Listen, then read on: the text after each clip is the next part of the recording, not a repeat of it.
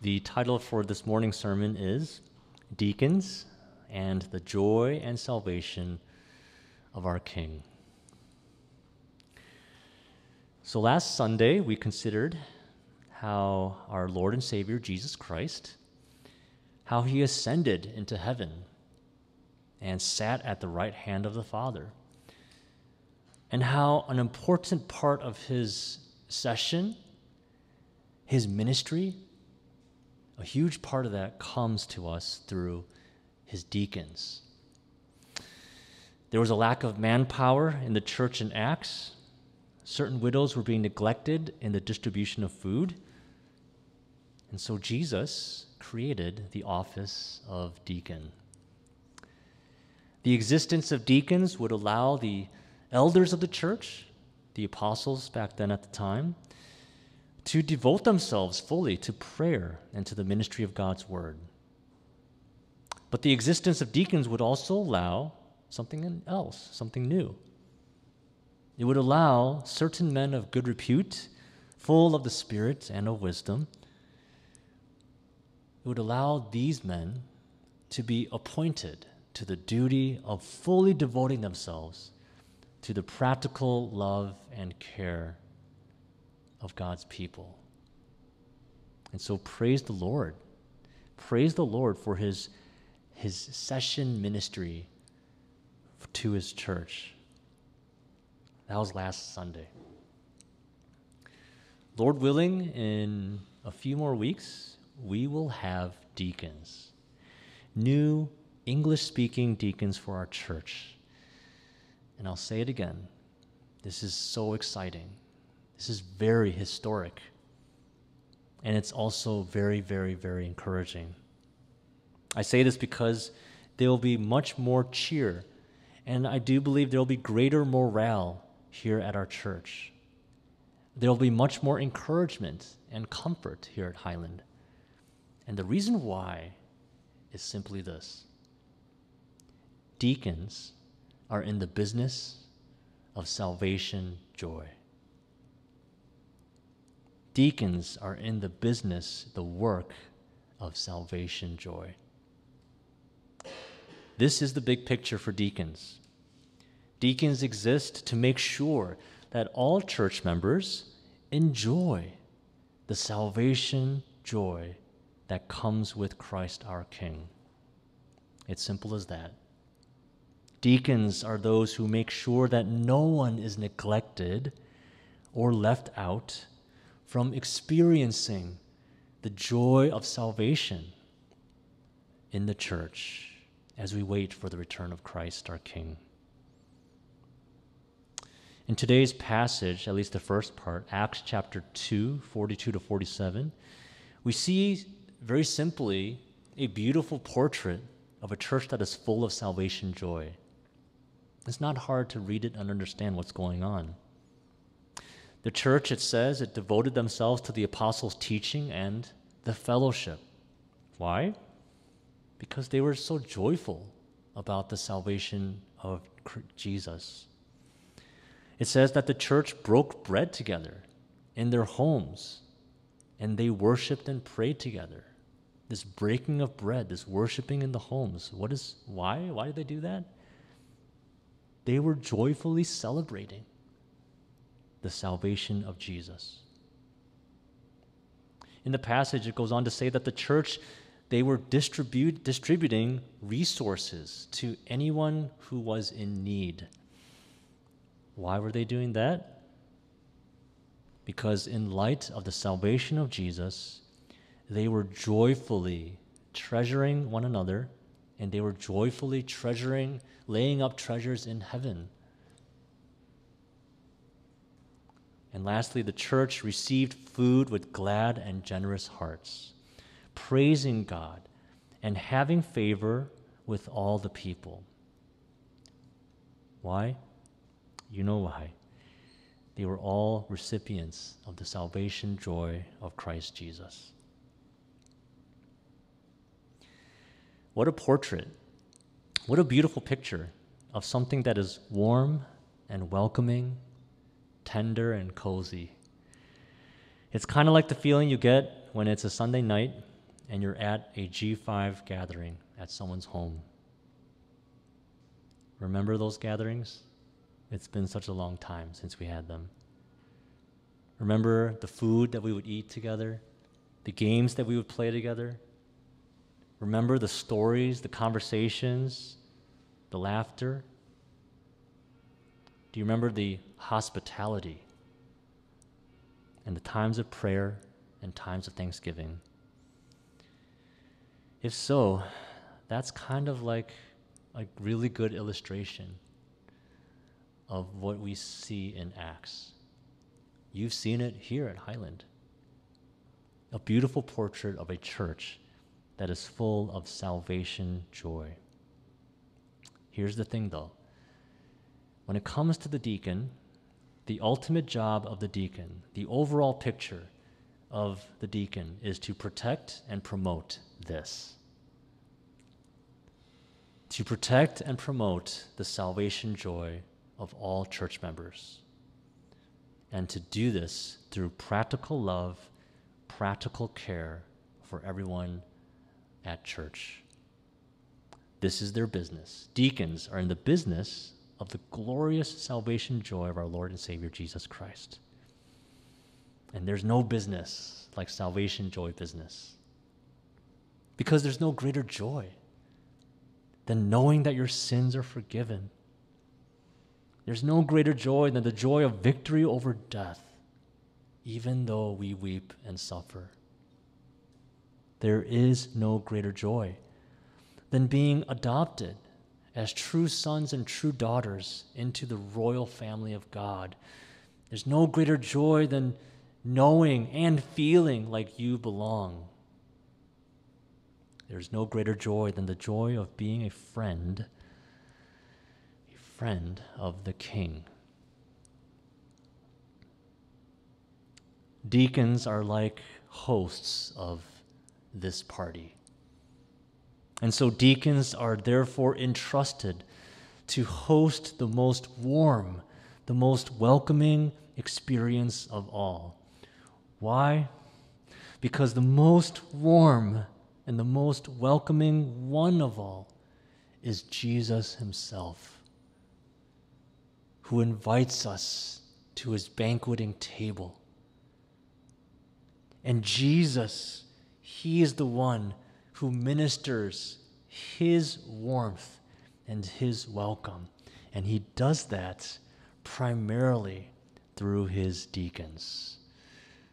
That's a very awesome work, a business, a duty, a calling, an appointment. Praise the Lord. Now, promoting and pr- protecting and promoting this salvation joy through practical love and care for all church members, that is no small thing. In fact, at times it can be quite heartbreaking. In the second part of our text, in Acts 6, when we are told that certain widows were being neglected in the daily distribution, that ought to break our hearts. These widows were being neglected, but not merely neglected from the food. They were being neglected in the church's celebration of the joy and salvation of Jesus. That's the big picture. Think about it. One of the worst feelings in the world is when you show up to a party, but you are alone. No one talks to you. You're kind of by yourself. It feels awkward. You don't feel like you belong. You kind of want to just leave. That's a really bad feeling, right? And let's add one more thing there. One of the worst feelings in the world is when you're the host of a party, but you run out of food. and you're awkwardly standing there watching the latecomers or whoever grab a plate and they pick up the scraps and there's no more meat left. But they get a drink and they don't know what to do and you don't know what to do. Is there anything worse than that when it comes to parties? Jesus knows how this feels. And as the king and the head of his church, as the ultimate host of his party, he will not have any of that happen. He does not want anyone to be neglected from the joy of his salvation. And that is why he gloriously instituted the office of deacon in the New Testament church in Acts chapter, two, uh, chapter 6. Jesus gives us deacons, praise the Lord, men who will protect the joy, who will promote the joy and the salvation of Christ. Deacons who will I, this is this rhymes it's cool. They will protect against neglect. Protection against neglection is that right? Protecting against neglecting. Jesus gives his church deacons deacons who will promote things like kindness friendliness benevolence and charity jesus he gives his church deacons who will have a heart for all the church members and love and care for them and make sure no one falls through the, cla- through the cracks. Jesus gives his church deacons who will take seriously the business of the joy of his salvation, the joy and the salvation of our King. And that's what Jesus is doing for us locally here at Highland, soon and very soon. Praise be to our God. And so, in closing, wow, I, I think today I'm going to set the record for the quickest worship service. the reason why, by the way, is because I have Presbytery this week, so I I made one sermon into two, and I made it cut in half, so it's quick. Highland, let's look forward to all of this. Simply put, let's get excited. Lord willing, in a few weeks, we will have deacons new English speaking deacons for our church. Seriously, this is very exciting. And of course, it's obviously it's historic. But it's so encouraging too. I look forward to seeing greater cheer and morale and encouragement and comfort here at Highland. I look forward to seeing a community of saints who will grow more in assurance knowing that they truly belong here at Highland.